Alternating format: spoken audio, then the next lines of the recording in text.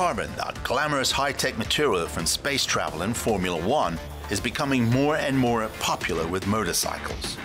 After racing and sports motorcycles, more and more series bikes benefit from the ultra-light and stable, but also expensive carbon parts. Carbon or not carbon? That is the question here today. More and more motorcyclists want to make their bike a bit more exhilarating, to make it unique, nothing off the shelf. And here, for example, fine carbon fiber parts are a possibility. One saves weight, one has a racing optic. This is known as the magic material from Formula One and MotoGP. For example, this relatively average BMW F800R naked bike can be rebuilt with a real orgy of carbon particles spread over the whole bike. What's it good for? What does it matter? What do you have to pay attention to? All these questions are now being discussed in comparison to a very standard F800R, where you could save a lot of money, but it's just a normal bike.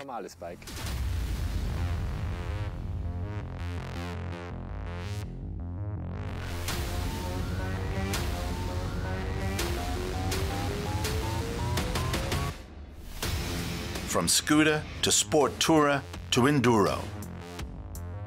For all types of bikes, there are now carbon parts. For example, Ducati Multistrada or BMW R9T.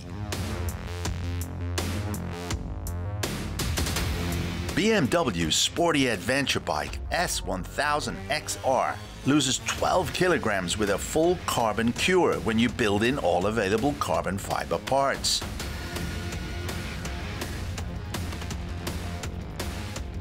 The carbon parts are also in great demand for the all-rounder, the BMW GS.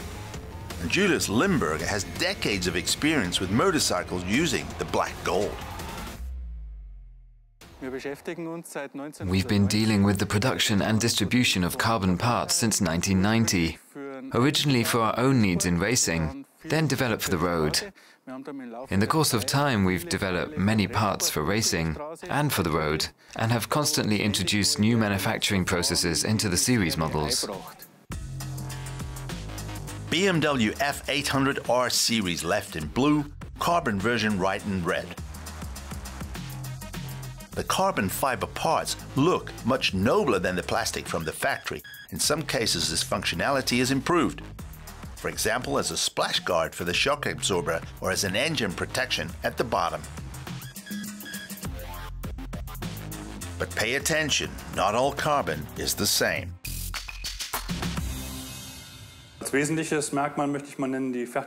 As an essential feature, I would highlight our finishing in the autoclaves. This finishing allows us to use a raw material with less resin content during production.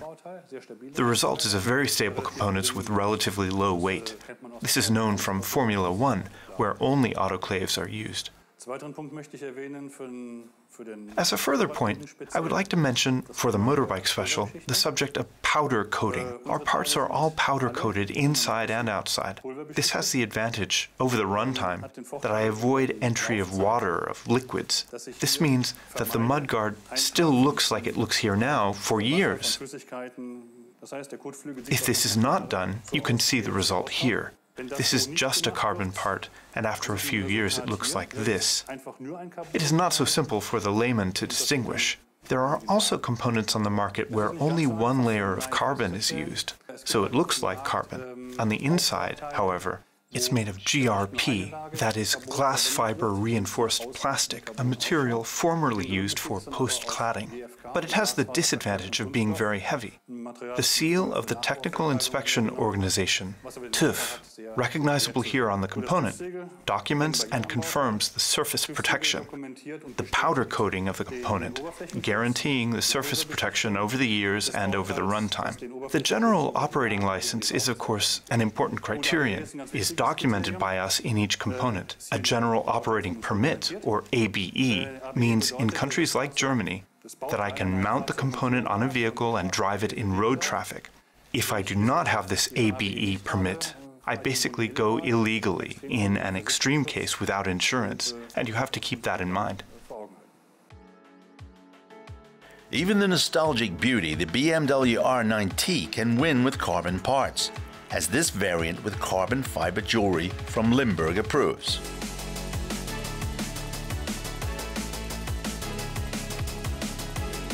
Weight savings and protection are indisputable, the look is naturally a matter of taste because carbon does not look classic, but rather futuristic.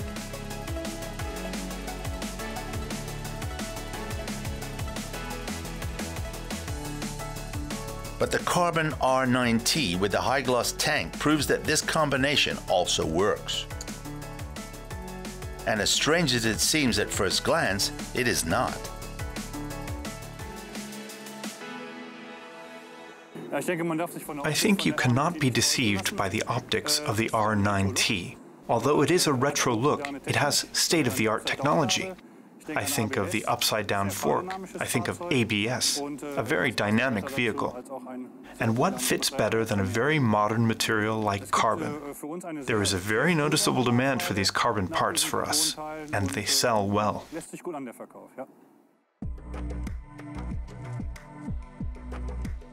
We conduct the carbon test.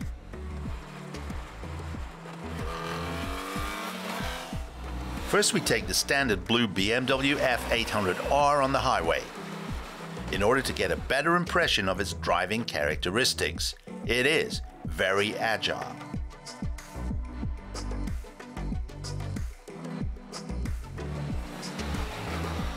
The dark plastic parts are appropriate, but not particularly chic. You do not have to be a well-heeled racer anymore to change to carbon. So for supersport motorcycles, it's out of the question, since it's already unbeatable. However, with normal motorcycles, it's prevailed more and more. Because if I take 10, 12, 13, or even 14 kilograms off a normal motorcycle, only by replacing panel parts, then you realize that the motorcycle is much easier to handle and thus easier to deal with.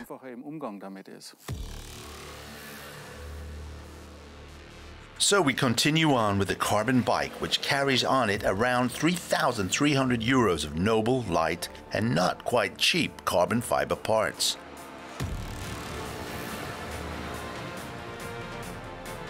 The large fenders glimmer futuristically and are lighter than the originals despite the additional protection function.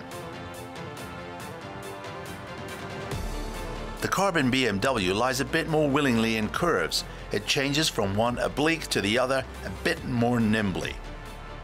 And although they're not worlds apart, the carbon bike has a noticeably more agile feel.